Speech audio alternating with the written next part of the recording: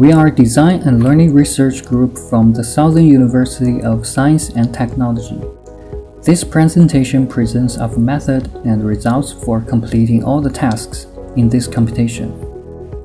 The robotic system includes a UR10E robot with a Hand-E gripper and a Wilson's camera attached to the tool flange.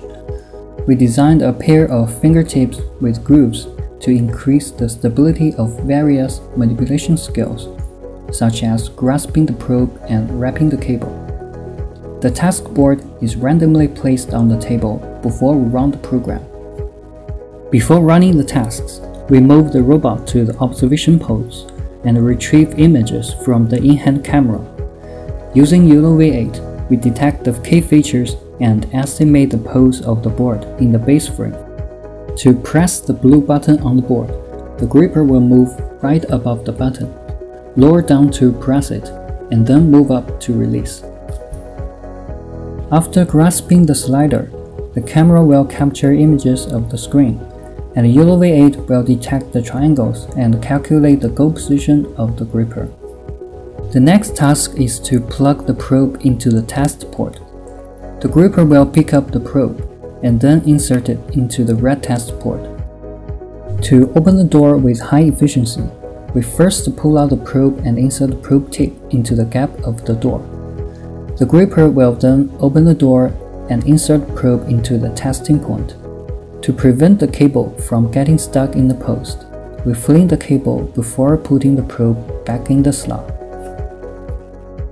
To wrap the cable, we collect the gripper poses from human demonstrated motions and transform the poses to the task board frame making it invariant to the absolute position and orientation of the board.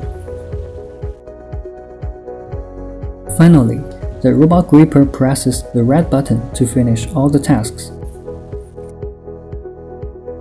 In this video, we show our fastest trial, which completes all tasks with only 28 seconds.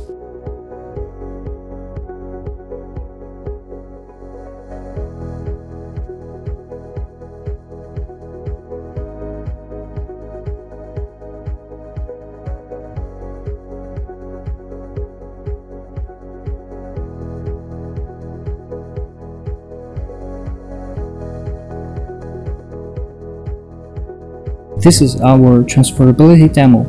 The task is to remove the battery from the smoke alarm.